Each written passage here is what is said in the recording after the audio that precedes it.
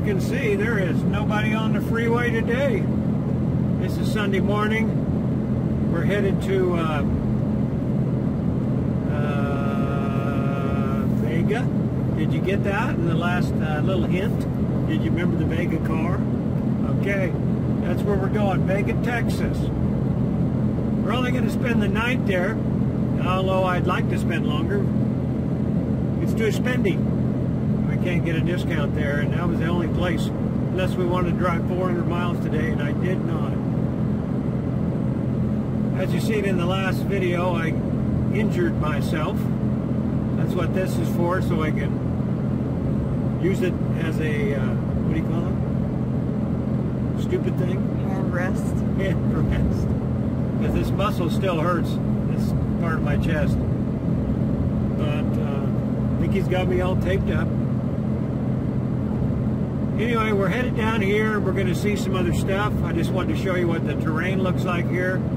It's nothing but sagebrush and scrub grass, it looks like. I don't think that's sagebrush. Isn't that sagebrush? Uh-uh, I don't know what it is.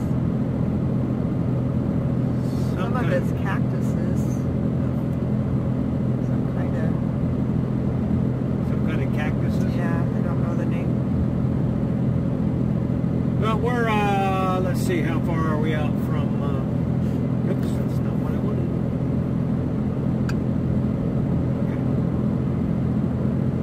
Okay. We are uh, 134 miles away from our destination. And we left, uh, uh, Dexter down there. I just like that picture of Dexter, guys. I'm pretty clever. I don't care what she says. I'm pretty clever. anyway, we left Dexter about 60 miles ago or so. And uh, there's not going to be anything to film between here and there, so stay tuned. We're going to put some more stuff on the back of here right now. I don't know the name of this little town, but looks like the pandemic hit it. I'm going to put the name right under here. Vicky uh, pulled up the name as we pulled in here. But uh, that's the second car passing us right now since we got here. Kind of a dead little town. What's the name of this town? Liberal? Libby? Alita or something like that. Elvita? Elvita? El, Alita? Elita? Elvita. That's where they make the cheese. Alita. Velveeta. it's a dead little town, guys.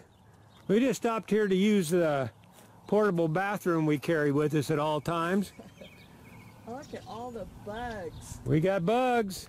Oh my gosh. Yeah, boy. Anyway, we're on the road again.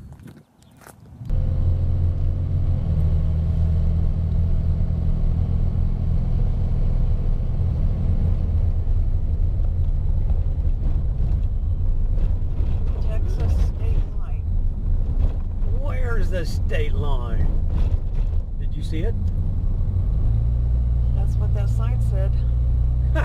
Didn't see a welcome to Nope, Texas not on anywhere. this road. Look at their prairie dog. Look. Look at them. Bunch of them. They're all- look at 'em. Welcome to Texas. Well, we made it to Walnut RV here in Vega. Uh, a few more travelers here. Uh, I think four pulled in here, as you can see. This is uh, right off the freeway, so I'm sure it'll be nice and noisy. Uh, and the price, I think, is expensive being as I can't get nobody to respond to the office and they just said drop your money in a box, I don't know how much I'm going to drop, I guess. But uh, if you're going to stay uh, anywhere around Arim- uh, Ala- uh, Amarillo, yep, don't stay here. We found a nice one right down the freeway, right next to Amarillo, just down from uh, uh, the Cadillac Ranch. There comes another RV in over there. Big one, pulling in. So, anyway, that's a review on this place. Lots of, oh, lots of foxtails.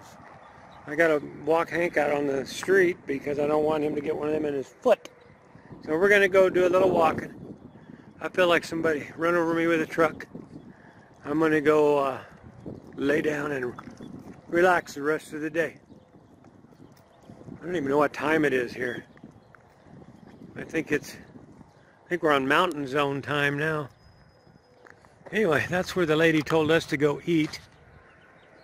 Well, I wouldn't want to eat there anyway. We drove all 26 miles, no, 30 miles to find something to eat.